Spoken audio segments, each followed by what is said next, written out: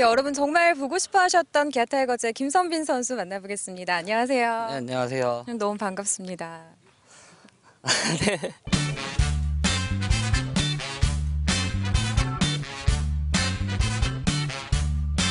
그래도 상무 입대하기 전까지 몸도 안 좋았고 심적 고생이 컸을 것 같아요.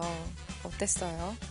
작년에 솔직히 좀 이제 운동 아파서 운동도 안 하고 맨날 재활만 하고 그러니까 살도 많이 찌고 해서 솔직히 팬들분께 좀 죄송스럽고 솔직히 욕도 많이 먹었어요. 욕도 많이 먹고 그것 때문에 지금 군입대를 해서 그 욕을 다시 안 먹으려고 다이어트도 하고 살도 빼고 몸도 만들고 있어요.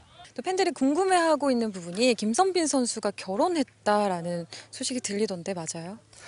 아직은 결혼은 안 했고요. 이제 제대하고 나서 결혼할 생각이고 이미 혼인신고는 했고요. 일- 일단은 결혼한 거나 마찬가지죠. 멘탈적인 부분에서 좀 잘 잡아줘서 좀 힘든 부분이 있으면 거기에 대한 고민도 많이 들어주고 또 이야기해주고 하니까 솔직히 스트레스 받는 거를 예전에는 좀 노는 걸로 풀었는데 지금 와이프라고 해야 되나? 와이프한테 풀면 말을 하면은 그만큼 좋게 이야기해 주니까 편한 것 같아요. 또 김기태 감독이 김선빈 선수의 3번 자리를 임시 결번했다 고 하잖아요. 네. 그때 그 소식을 듣고 좀 기분이 묘했을 것 같은데요. 솔직히 처음에는 어 이거 뭐지 이렇게 생각을 했는데 그만큼 감독님이 대우해주고 그러니까 이제 제대하고 나서 그만큼 대우해준 것만큼 팀에 더 보탬이 되고 그런 선수가 되도록 노력하겠습니다. 이제 강한울 선수 등 여러 이제 새 얼굴들이 김선빈 선수가 있었던 유격수 자리에서 열심히 하고 있는데 내심 불안한 마음도 있을까요?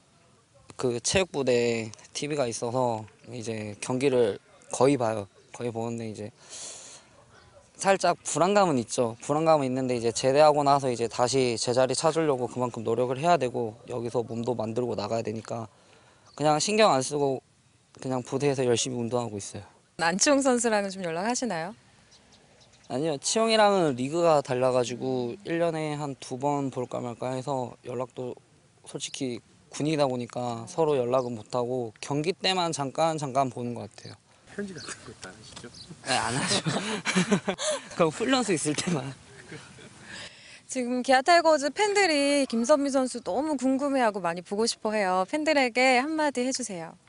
어, 작년에는 몸도 좀 실망을 많이 시켜드렸는데 이제 군입대를 해서 몸도 만들고 이제 좀 많이 남았지만 빨리 제대를 해서 시간은 가는 거니까 빨리 기아 타이거즈 팀에 합류해서 열심히 하도록 노력하겠습니다. 고맙습니다.